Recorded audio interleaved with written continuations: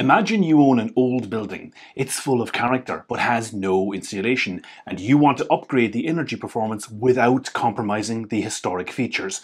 How do you do it? Two months ago, I posted a video about insulating inside a solid wall in the UK.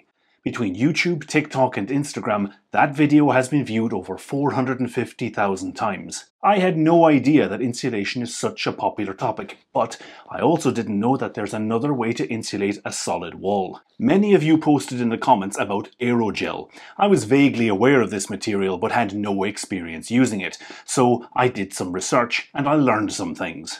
I'm going to take a deep dive into aerogel, including who produces it, how much it costs in the UK, how to use it, and how much space it will save in your renovation project. If you have an old building with solid walls and you want the thinnest insulation in the UK, this is the video for you. The problem with breathable insulation. The big lesson from my original video is that older buildings with solid walls need to breathe both inside and outside, Modern PIR insulation is very efficient, but it can't breathe. It traps moisture, and that could lead to mold and rot hidden behind the insulation. Breathable insulation, like mineral wool, is widely available, but if you want to renovate an old building and upgrade the walls to make your home warmer, it takes a lot of mineral wool to do that. Aside from making the room smaller, it can be impossible to do this if the building is listed and has cornices. Lining the inside surface of the external wall with this thick build-up will cover cornices and the planners don't like that. So how do you upgrade a house if it's listed or you don't want to lose lots of space? That's where aerogel comes in. What is aerogel? Aerogel is a super lightweight material made by drying out silica gel until there's no moisture left. Imagine taking hair gel and somehow removing all the liquid without any shrinkage occurring. Whatever's left is aerogel. It's 99.9% air. This material is extremely resistant to heat transfer, and its properties as an insulation material are almost supernatural. Just look at this photo taken by NASA.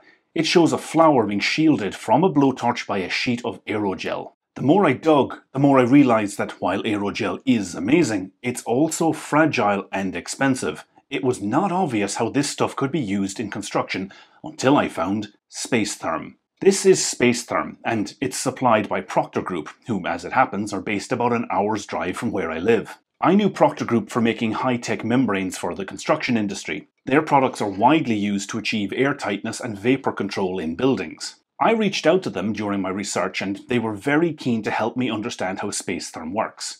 Because it's especially useful for renovation projects, they sponsored this video so that you can see for yourself if Spacetherm is right for you.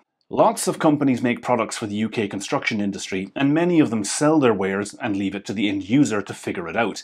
Relatively few firms take the time to answer questions. One thing Proctor Group are known for is their technical helpline. No matter how complex or unique the project, these guys will be able to tell you how to use their products correctly. How does Space Spacetherm work? Proctor space Spacetherm comes in a few different types for different applications, but fundamentally it's made from this fibre mat bonded to a magnesium oxide board. The fibrous mat is impregnated with silica aerogel. The magnesium oxide board comes in varying thicknesses, but they are all vapor open, meaning they don't trap moisture. Aerogel on its own is fragile, but the quilt solves this problem, making it flexible and breathable all at once, and it is possible to buy the quilt on its own. Because aerogel is hydrophobic, liquid water runs off it, but thanks to the permeable structure of the material, water vapour can pass right through. This gives Spacetherm two massive advantages. You might remember that in the original video I advised there should be a cavity between new insulation and a solid wall. That takes up valuable space, but because aerogel is hydrophobic, that isn't necessary. Spacetherm can be fixed right onto the inside face of a solid wall and that saves space. Because both the insulation and the magnesium board are vapor open, the product breathes. Damp can't build up and cause mold growth behind the insulation. But aside from the fact that Space Spacetherm can be installed right onto a masonry wall, its big party piece is thermal performance, better than any other type of insulation used in construction today. Exactly how much space will Space Spacetherm save? Let's assume your house has an 18 inch thick solid wall, like this house. You can see from this photo the two traditional ways that solid walls are lined inside older buildings. This wall has been strapped and lined with lath and plaster on timber studs, and this wall has been plastered directly onto the brick. The lath and plaster lining is about 50mm or 2 inches thick overall, and the plaster on the brick is usually around 1 inch thick. We measure heat loss using U values. The lower the number, the better the score. And a 450mm thick sandstone wall like this will have a U value of around 1.5. For comparison, the walls in a modern home are almost 10 times more efficient. If we use 16mm Spacetherm Multi, it can be fixed directly onto the inside surface of the wall. That would reduce the U value from 1.5 to 0.719, which cuts the heat loss in half at a stroke. That means we could strip the plaster off this wall, fix Spacetherm Multi to the brick, and run it right up to the cornice. Once the new lining has been decorated, there would be no impact on that cornice. Spacetherm can replace old lime plaster within its original thickness and not affect the historic character of the building. If we used more conventional PIR insulation, it would take at least 24mm of insulation with 9mm of plasterboard fixed directly onto the inside face of the external wall. Now this is something you should never do with a solid wall. It is almost certainly going to lead to dampness and mould. The best practice is to have a 25mm cavity between the wall and the insulation. With that build-up, we could reduce the PIR insulation to 20mm and achieve the same U value, but the overall thickness is now 54 millimeters and it can't breathe, so if that wall is damp, this is really not the way to go. If we used breathable mineral wool, we still need a 25mm cavity, and to achieve the same U value, we would need 37mm of insulation plus 9mm of plasterboard.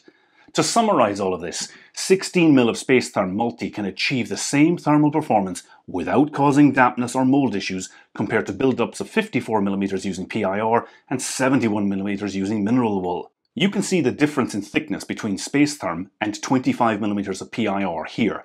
These two products have the same thermal performance, but only Spacetherm is breathable and can be safely fixed to the inside of a solid wall. Even if those other insulations were stuck directly onto the wall, Spacetherm is still less than half the thickness.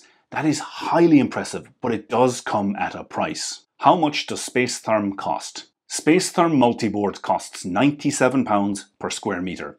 It's available in a variety of thicknesses, but the sheet sizes are all 2.4 by 1.2 metres. It's usually available within 7 to 10 working days, and there are no minimum order quantities, so it's possible to get Spacetherm for small home renovation projects. It can be cut and drilled using regular tools. Just remember to compress the board beforehand to avoid snagging the quilt on a saw or drill bit. Because aerogel is hydrophobic, it won't wash off with just water alone.